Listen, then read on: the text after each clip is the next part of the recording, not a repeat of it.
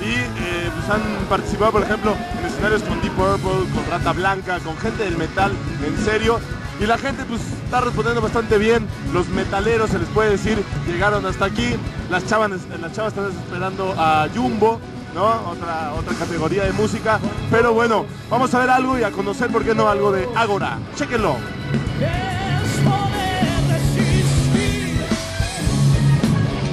Sin ceder a